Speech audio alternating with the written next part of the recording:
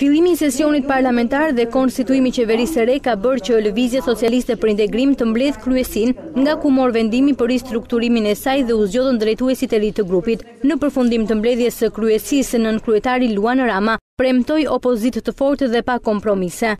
Ne do të bëjmë, përmes angazhimit tonë, që jo vetëm të jemi zëri i shqetësimit dhe i interesit qytetar, por që qytetarët të na vlerësojnë, të na besojnë dhe të na duan për shkak të asaj që ne do të bëjmë për ta.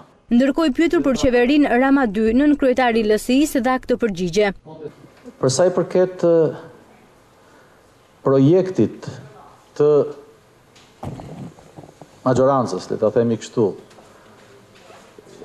për qeverinë dhe gjithçka tjetër që lidhet me organizimin dhe nivelet e përfaqësimit të saj në drejtimin e Kuvendit, ne do të gjykojmë, do të vendosim dhe do të shprehemi kur të vijë koha kushtetuese apo kur të gjendemi përballë detyrimit kushtetues për të vendosur dhe për të votuar për ta. Në mbledhjen e kryesisë, Lëvizja Socialiste për Integrim zgjodhi Petrit Vasilin si kryetar të grupit parlamentar, ndërsa Klajda Gjosha e Përparim Spahiu do të jenë nënkryetarë. Në postin e sekretares së përgjithshme të grupit u zgjodh Nora Malaj.